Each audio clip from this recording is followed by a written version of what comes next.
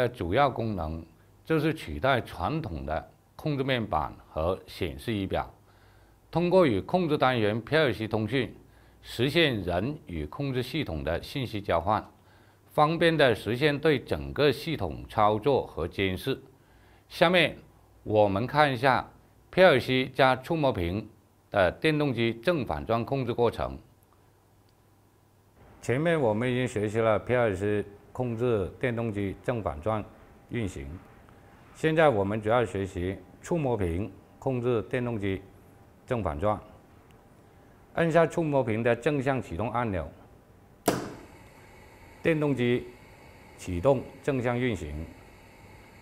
按下停止按钮，电动机停止。再按下触摸屏的反向启动按钮。电动机反向启动运行，再按下停止按钮，电动机停止。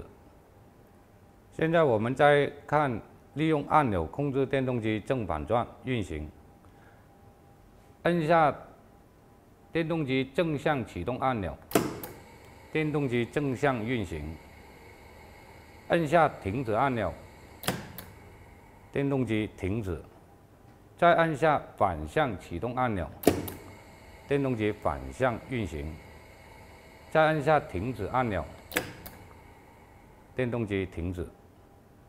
西门子 HNI 触摸屏的相关知识：一、西门子 HNI 触摸屏的类型。西门子 HNI 触摸屏人机交互界面的简称。一、操作面板。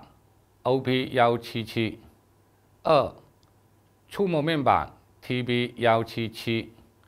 三，多功能面板 MP 二七七。四，精简面板四串六串面板 KTP 四百 KTP 九百。五，精致面板 KP 九零零。TP 九零零，HNI 人机界面设备在自动控制系统中的主要作用：一、显示。生产过程中的数据信息集中动态的显示在画面和图表中；二、操作和监控，通过画面上的按钮、开关、数据输入、输出域。图形视图等，操控机器的启动、停止，为机器配置和修改工艺参数等。三、报警功能，例如冷却水温不得高于某值，当超温时将触发自动报警系统。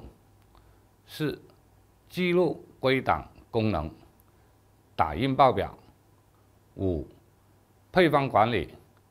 可以将众多产品的工艺参数一次性全部存储在 HNI 设备中，根据当前生产计划订单，随时调出装载到 PLC 进行生产。六、处理视频信号，现场实时监控。七、网络化，实现远程诊断、远程维护。西门子 HNI 触摸屏的接线端子，TP 九零零精致面板触摸屏九寸，一千六百万色触摸屏 LED 背光，十六比九宽屏显示，十二兆 B 用户内存。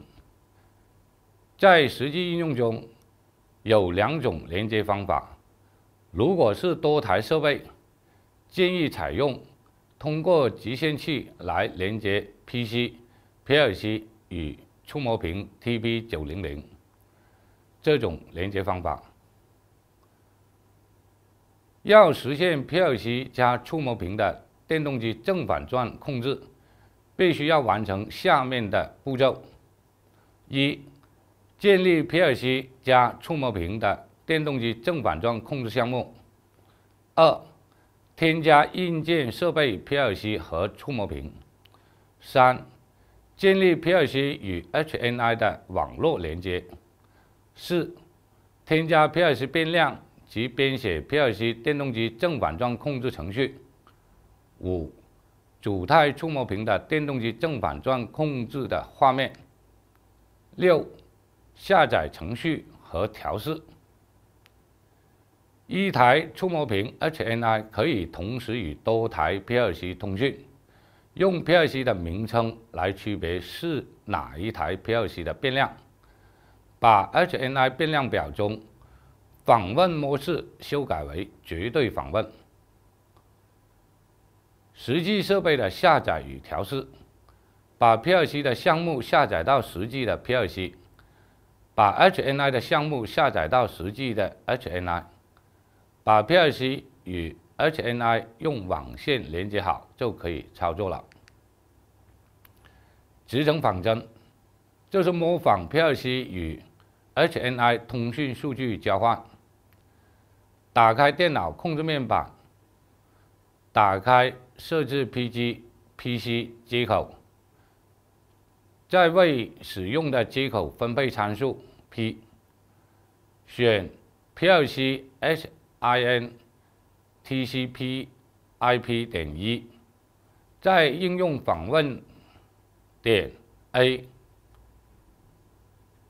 H O N L I N R P L C H I N T C P I P 点一，确定。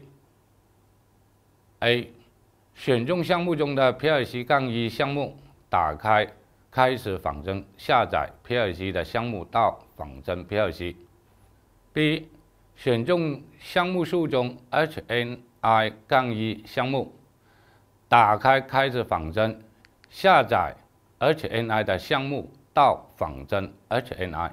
这节课主要介绍了触摸屏 HNI 的基本知识，下节课介绍 PLC 加 HNI 控制电动机正反转的设计。